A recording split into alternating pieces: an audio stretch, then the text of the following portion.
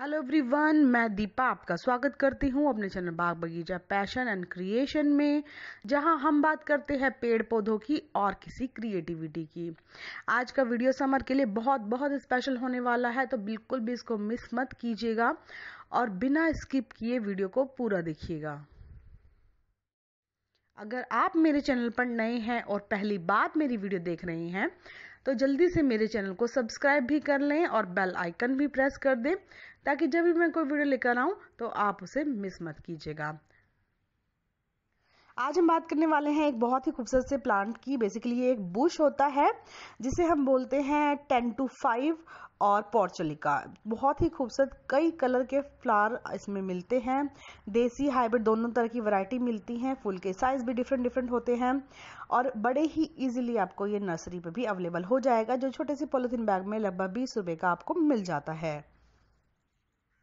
और पूरी गर्मियाँ भर खूब सुंदर फ्लावरिंग करता रहता है। बिल्कुल भी बहुत ज़्यादा खर्चीला वाला प्लांट नहीं है। आराम से आप इसको एक बार लगा लें तो सालों साल आपके गार्डन में बना रहता है। विंटर्स में डायमेंसी में चला जाता है, लेकिन आप इसको सेव करके सकते हैं। आप यहाँ देख सकते हैं, मेरे पास ये सेव किया हुआ ही प्लांट है। और अब मैं इसको, इसकी कटिंग्स तैयार कर लूँगी ताकि अभी आने वाले समर में और इस टाइम पर ये बहुत अच्छे से फ्लारिंग कर सके। क्योंकि अभी तक मैंने इसको तैयार नहीं किया था तो अभी ये सही टाइम है, इसको फटाफट से तैयार कर लेती हूँ। दो से तीन दिन में ही इसकी कटिंग ईजिली चल जाती है तो ये एक ऐसा प्लांट है जिसमें आप एक बार पैसा खर्च कर देते हैं तो बार बार आपको पैसा भी नहीं खर्च करना पड़ता है, और इसमें बहुत ज़्यादा इसकी कोई मेंटेनेंस भी नहीं है। विंटर्स में जब मैंने इसको रखा था डोरमेंसिस में जाने से पहले तो मैंने बहुत सारे कलर के जो प्लांट्स हैं, जो कटिंग्स थे, वो सारे एक ही प्लांटर में लगा के छोड़ दिए थे। क्योंकि अभी इसमें फ्लारिंग स्टार्ट नहीं हुई है तो मुझे नहीं पता कि कौन कौन से कलर्स के हैं। तो मैं इस वाले जो प्लांटर है मेरा, ये मैं इसमें से अच्छी खासी कटिंग निकाल लेती हूँ। इससे दो फ़ायदे होंगे, एक तो नए प्लांटर तैयार हो जाएँगे, दूसरा जो ये वाला प्लांटर है, इसमें भी नई नई स्टैम्प्स निकलेंगी, जिसपे नई नई बर्ड्स आएँगी। तो इस तरह से मैं इसको दो तीन प्लांटर्स में लगा लूँगी और ये बहुत ही अच्छा लिखने वाला पौधा होता है। रंग बिरंगे फूल खिलते हैं। सुबह दस बजे खिल जाते हैं, शाम को पाँच बजे बंद हो जाते हैं। तो दोपहर का पौधा है, बहुत ही खूबसूरत लगता है। अगर आपके गार्डन में ये नहीं है तो आप भी इसको ज़रूर शामिल कर लें। कटिंग से इजीली प्रोपगेट हो जाने वाले इस प्लांट को अगर मैं बात करूँ कि धूप की कितनी रिक्वायरमेंट होती है तो जितनी ज़्यादा इसको धूप मिलती है, उतना ही ये अच्छा कलियाँ प्रोड्यूस करता है फ्लावर्स प्रोड्यूस करता है। तो अगर आपके पास ये प्लांट नहीं है तो आप किसी से भी इसकी कटिंग लेकर भी इसके प्लांटर्स तैयार कर सकते हैं। आप एक बार एक कटिंग ले आएँगे तो उससे ढेरों प्लांटर भी तैयार हो जाते हैं। ये बहुत सारी कटिंग से तैयार हो जाने वाला, आप चाहे तो एक प्लांटर में एक तरह की कलर की कटिंग लगा सकते हैं। आप चाहे तो मिक्स करके लगा सकते हैं, दोनों ही तरह से बहुत ही खूबसूरत लगता है। और मैं यहाँ पर इस प्लांटर को तैयार कर रही हूँ। और जब इसकी फ्लारिंग आएगी, उसका अपडेट भी मैं आपको साथ साथ देती रहूँगी। सबसे पहले इसकी कटिंग ही प्रोपोगेट कर लेते हैं। बस ध्यान रखना है आपको कि यही सही टाइम है। इसको एक बार खाद दे दीजिए। बार बार खाद देने की बिल्कुल भी ज़रूरत नहीं होती है। एक बार खाद दे देंगे, अच्छे से कटिंग लगा लेंगे तो फिर सारी सर्दियाँ आपके नवंबर, दिसंबर तक आपको बहुत अच्छी ढेरों भर भर के फ्लारिंग मिलती रहेगी। अगर मैं बात करूँ इसकी कटिंग के लिए हमें कैसी मिट्टी बनानी है, कैसी मिट्टी प्रिपेयर करनी है तो उसके लिए कुछ भी स्पेशल नहीं करना होता। मेरे पास जो खाली प्लांटर पड़े होते हैं, जिसमें जैसी मिट्टी होती है, वैसे में ही लग जाती है।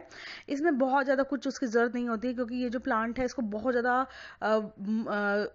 मॉइस्चराइज़र की भी बहुत ज़्यादा ज़रूरत नहीं होती है बहुत ज़्यादा मिट्टी सूखी हो तो भी, भी इसको कोई प्रॉब्लम नहीं होती है। तो मेरे पास जो नॉर्मल प्लांटर्स में मिट्टी पड़ी थी मैं उसी में इसको लगा रही हूँ। बस नीचे से एक इंच की इसकी मैं जो लीव्स है वो हटा लूँगी और आराम से लगा दूँगी। और कुछ भी नहीं करना होता और आप देखिएगा तीन चार दिन बाद ही ये बहुत ही अच्छे से लग जाती है।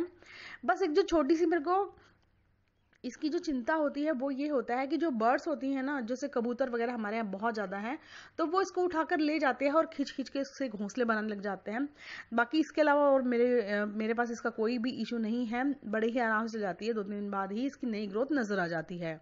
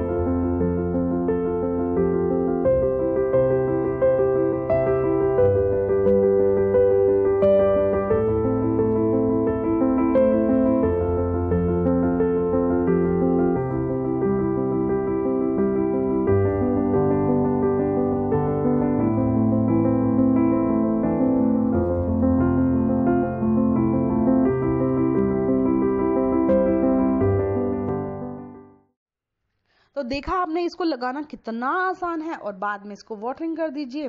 बहुत ही अच्छे से आपके फ्री में कई सारे प्लांटर तैयार हो जाएँगे।